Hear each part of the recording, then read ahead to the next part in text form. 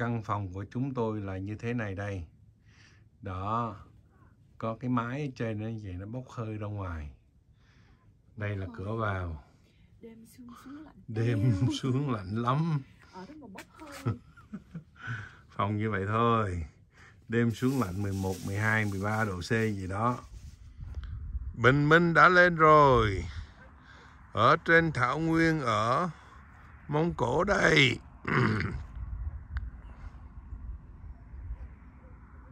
Bình minh lên rồi Bình minh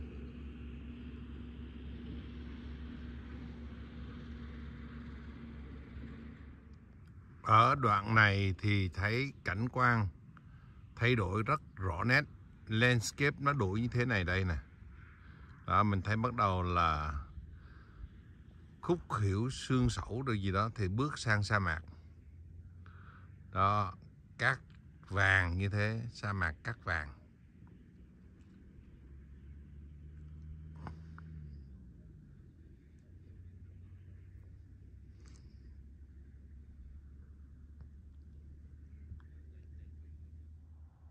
Ở đây đàn trừu đang nằm nghỉ.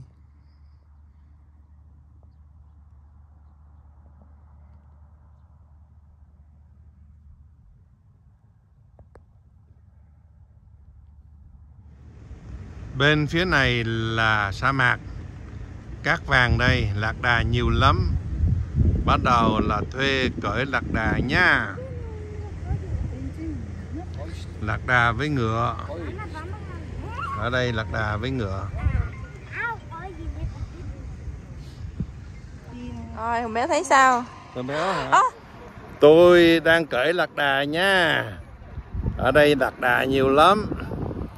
Cởi con lạc đà đây nè, đó, cởi vậy nè, đó. Lạc đà nè, cởi ha, cởi lạc đà. À, vui rồi thấy không?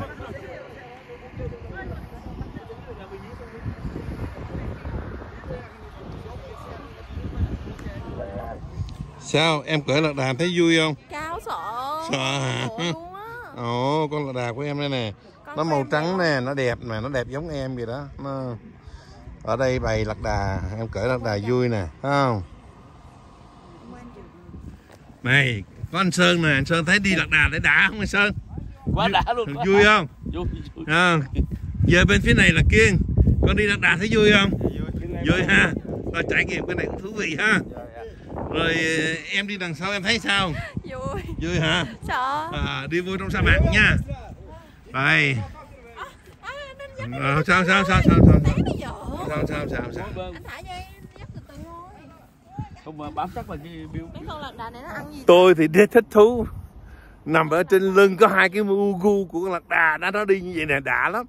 Còn em thì sợ em la ôi ôi ôi ôi đang đi trong sa mạc nè anh sơn thì anh cười. Kiên thì cười chỉ có em là ôi ôi à đây là những người dắt lạc đà cho chúng tôi đi trong sa mạc đây. Đó. Cảnh sa mạc. Đi gần nhau quá vậy đang cưỡi lạc đà. Đang cưỡi lạc đà ha. Đi trong sa mạc mà ý hệt như còn gì nữa.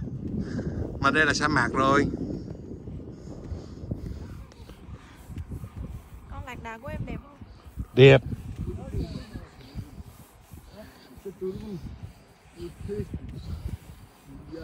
nữa. Rồi cái chị lạc đà này. Em à, đang đi lạc đà ở sa mạc mông cổ đây. Ừ. anh sơn thì bên kia kiên thì đang đi sau cũng quay phim. Ôi. Đây là sa mạc.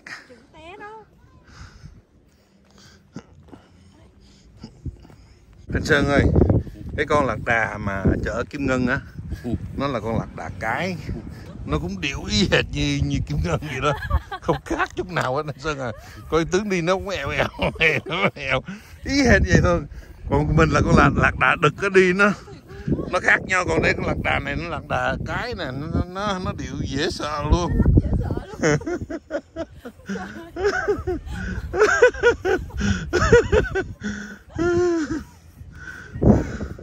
sợ luôn nó té nó mẹo không nghe sao cái con lạc đà của em nó điệu gì em nó đi nó cũng điệu điệu y hệt như em vậy. Ẻo qua ẻo lại. Ẻo luôn. Cái người lái nói ẹo sao thì nó ẹo vậy đó mà. À, à, à. chúng tôi đã lên trên đỉnh đồi của sa mạc. Sa mạc cát ở đây.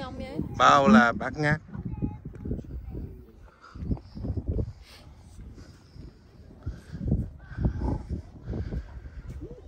đang lên trên đỉnh đồi của sa mạc bao la bát ngát. Đẹp quá đi. Quay đây Nam ơi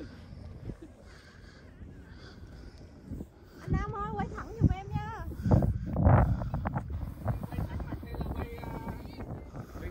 quay thẳng á ngang ngang được anh Nam đứng quay phim cho chúng tôi đây. Đang cởi lạc đà vui không em? Dạ vui Ây da. Cái chân anh á à cái con cái này hình như nó khoái cái con đực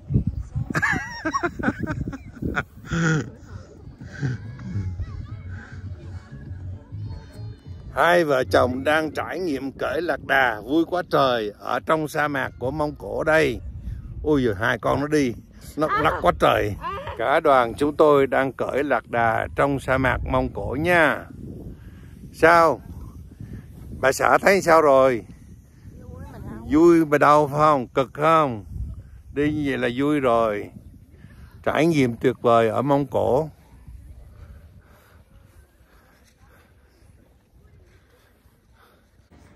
Đó, nó quỳ xuống cho em xuống này thấy không? Rồi, giờ đến anh khiêng anh xuống nha. Rồi xuống đây Vậy là vui rồi. Quá trời là tuyệt vời. Quan trọng nhất là phải làm sao qua được cái u này của em nè. Rồi.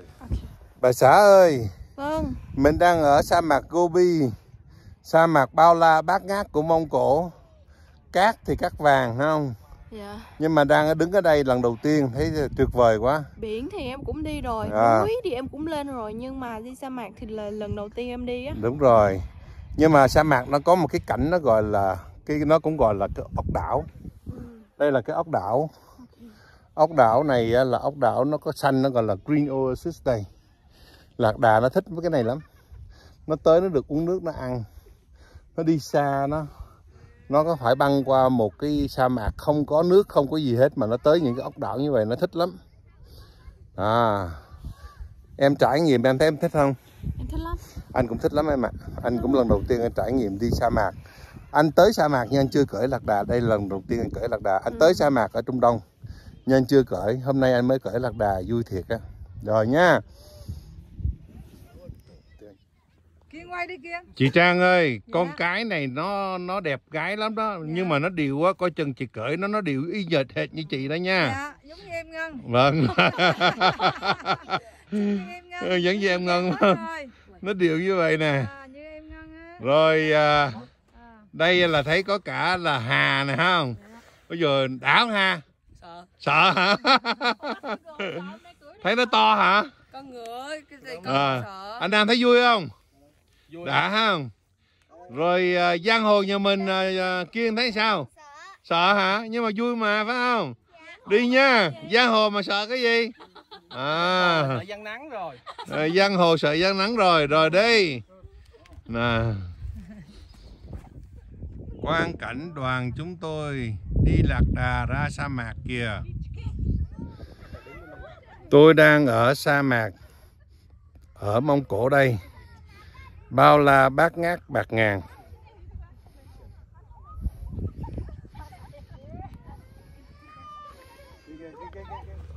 Chị trang và cháu hà đang cởi lạc đà ở sa mạc mông cổ. Thấy sao chị trang Rất là rất là dễ thương. Rất dễ thương phải không? Thú thú thú vị không? Thú vị. sao hà con có thấy thú vị không? Ờ, trải nghiệm như vậy mới thú vị phải không? À thấy anh nam với ờ, ờ, giang hồ của mình tới rồi. Anh nam thấy sao anh nam? Vui anh. Rồi thú vị không? Giang hồ có sợ giang nắng chưa? Giang hồ hết sợ giang nắng rồi hả? Sao? Kiên thấy sao kiên? Sợ. Hả? Nhưng mà có vui không?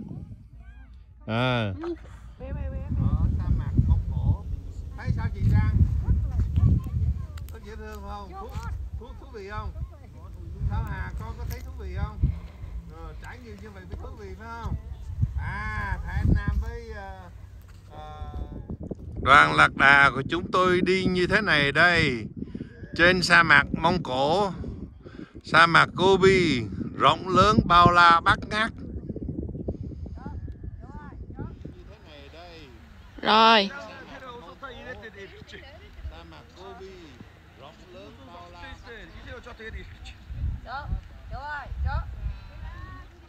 Và đây là sa mạc Gobi rộng lớn bao la bát ngát đến phiên gia đình anh Tuấn đi à, anh Tuấn chắc đi nhiều rồi phải không anh Tuấn hôm nay mới học Mấy nay mới học à? hôm nay mới học vẫn lòng à, đã quá ta. Anh Huy sao? Thấy sao? Hôm nay lần đầu tiên đi lạc đà phải không? Rồi, tuyệt vời nhá. Gia đình anh Tuấn ở đây mà còn mơ hôm nay mới đi lần đầu tiên nè. Nè.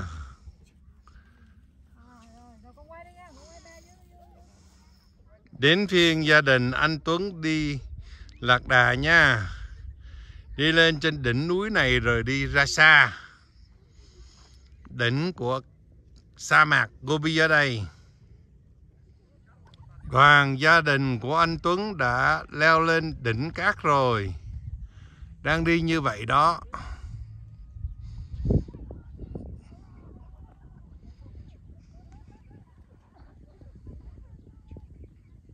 Này rất là tuyệt vời. Sao? Chị Hạnh thấy vui không? Chị Hạnh? Chị Hạnh là bà xã của anh, anh Tuấn đó. Nhưng mà chị nói được tiếng uh, Việt đôi chút chỉ là người Mông Cổ. Chị Hạnh thấy vui không chị Hạnh? Chị Hạnh ơi thấy vui không? Vui không? Rồi. Sao anh Huy thấy sao? Anh Tuấn thấy sao? tuyệt vời tuyệt vời. Tuyệt vời phải không? Đó chị Hạnh thấy tuyệt vời phải không? À. Con cũng thấy tuyệt vời phải không Kiên rồi. Cảnh gia đình của anh Tuấn đi lạc đà trên sa mạc của Mông Cổ, lên trên đỉnh núi đây. Nhìn ra rất là đẹp. Sa mạc bao la bát ngát. Đẹp lắm. Bây giờ thấy dê đây, không biết bao nhiêu con là tới đây rồi. Dê đàn dê tới đây ăn. Dê với trù. Nhiều lắm Ơi là đẹp. Cảm ơn những người như anh anh anh anh Hùng đã đưa lên cho mọi người thấy được dạ sự đẹp của mỗi đất nước khác nhau. mỗi đất nước khác nhau Rồi không có phải là so sánh được đâu. đúng vậy Rất là cảm ơn những cái người mà đã chịu khó Dạ. Mỗi đất nước khác nhau. Đúng vậy.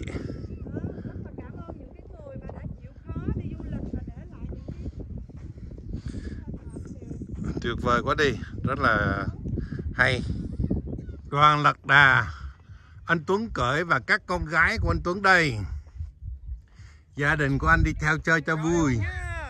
Chào khán giả của kênh góc nhìn rồi. You girls how is the ride? Girls how is the ride? Not good. Wonderful? No wonderful? Not good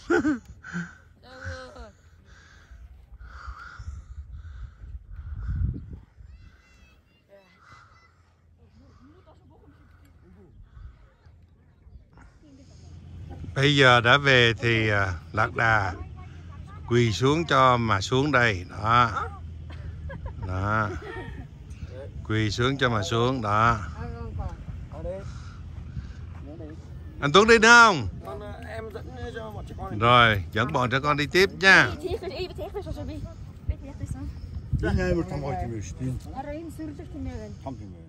Chúng tôi đi bộ ở trong sa mạc lên núi cát đi trượt cát ở đây y như Quảng Bình nha. Đi một hồi là đừ rồi. Bao la bát ngát đi mệt luôn. Ở đây à, không có dịch vụ nên không có cái mẹt để mà tuột. Người ta tuột kiểu này không có không có sướng bằng ở Quảng Bình. Tuột cái này xong rồi đi bộ lên là thở luôn á. Đây nhìn ra sa mạc Gobi bao la bát ngát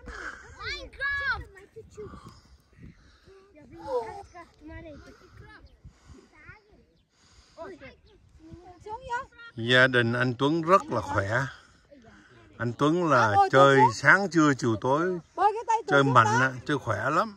đó vậy nhanh hơn là đứng đi á đấy lên những quần tiêu Coi anh Tuấn lên kìa. Đó, anh Tuấn lên. Lên được là chắc là thở luôn. Tôi đã từng trượt cát ở Quảng Bình rồi. Ở đây không có cái mẹt. Không có chuyên nghiệp bằng Quảng Bình. À, Nó phải có cái mẹt nó gì đó rồi nó trơn nó trơn đã lắm. Ừ. Ở dưới Sao Tuấn ơi? Người như thế mà trông thấy khỏe thế nhỉ? Người lúc nào cũng khỏe nhỉ? Hay nhỉ? Sáng trưa chiều tối chơi không biết mệt là gì à? Năng lượng rất là nhiều. Đó là anh Tuấn đó, rất là nhiều năng lượng. lên luôn lên luôn từ cái chân đau Sa mạc Mông Cổ đó, ở trên đỉnh đồi cát. Anh kia anh trượt kiểu này là cũng gấu lắm hết trơn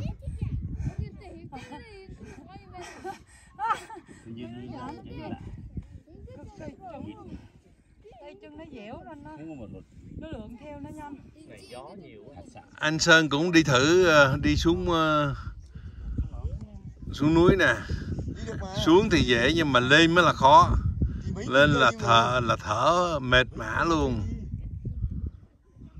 chúc mừng anh Sơn hoàn thành 25 phần trăm chặng đường Rồi, chị Trang cũng ngầu thiệt nha. À, cũng thoăn thoắt như ai không? Rồi, hay quá trời kìa, thấy chưa? À, kia là chị Hạnh và xã anh Tuấn và hai người con gái của anh Tuấn đó. Nhà anh Tuấn là rất là ngầu. Từ bố mẹ con cái đều là có tinh thần thể thao cả. À, bây giờ đến phía anh Sơn đi lên nửa đường là thấy muốn thở ra khói rồi kìa. Như vậy là cũng hay lắm rồi đó. Ông lão 105 tuổi mà đi được như vậy là hay lắm rồi đó anh Sơn à. 105 tuổi mà đi được như vậy là giỏi lắm rồi anh Sơn ơi. À, cố gắng lên, cố gắng lên. Còn chút xíu nữa thôi, cố gắng đi. À, ông lão 105 tuổi mà hôm nay tới đây là 105 tuổi hay 100 là là là là là, là 7 tuổi rồi anh Sơn. Đi đi. Cố gắng đi.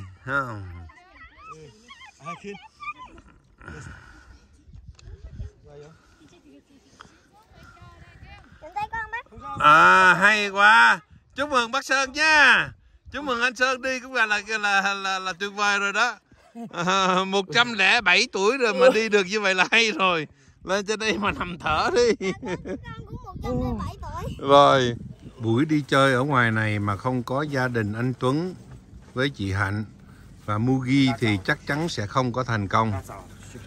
Mugi và anh Tuấn à, rất là siêng năng. Chơi xong rồi lại lo sắp xếp đưa đồ về. này đây bê đồ này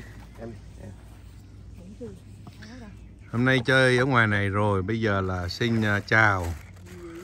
Căn nhà hotel của chúng tôi giống y như người Mông Cổ. Và đằng sau là bước qua là bắt đầu là vào sa mạc luôn, sa mạc Gobi. Cát mịn trắng.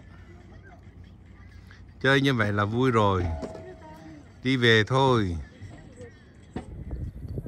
Đi chơi sa mạc, cởi lạc đà, ngủ nhà lều Mông Cổ rồi. Hôm nay lên chỗ này để ăn trưa rồi đi về. Chân thành cảm ơn tất cả quý khán thính giả theo dõi và xin hẹn gặp quý vị trong chương trình sau.